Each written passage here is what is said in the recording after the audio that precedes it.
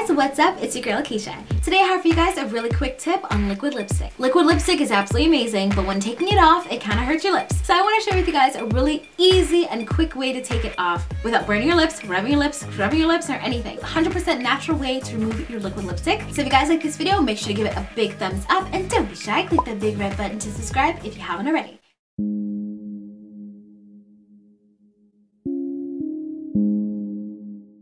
In one of my previous videos, I tried on about 11 ColourPop liquid lipsticks. If you guys haven't seen it, it will be in one of the cards above. But I had to try on about 11 lipsticks on my lips and I had to film it twice. So my lips were like on fire but it did allow me a lot of time to experiment with how to remove them.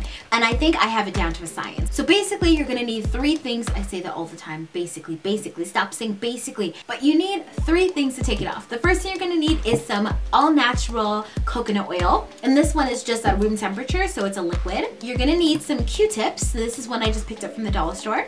And the last thing you're going to need is some baby wipes. That's right, baby wipes. Now you can use makeup wipes, but these cost two bucks and those cost up to like $15. So girl, you know what I'm saying. The first thing you're gonna do is get yourself a nice little Q-tip like so and you're gonna dip it into your coconut oil. Then what you're going to do is rub this on your lips.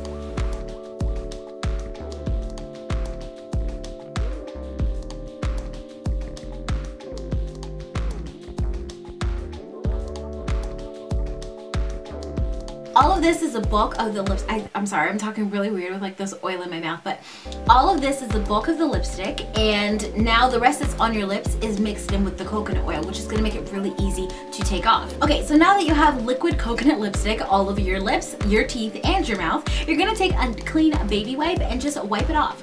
It comes off with ease without tugging and pulling on your lips.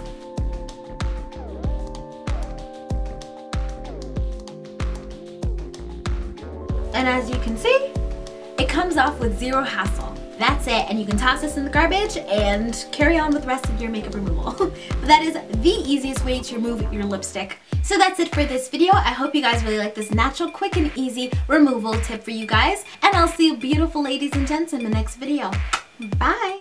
I hope you guys liked that video. If you did, please give it a big thumbs up. Don't forget to hit that subscribe button and I'll see you lovely beautiful people in my next video.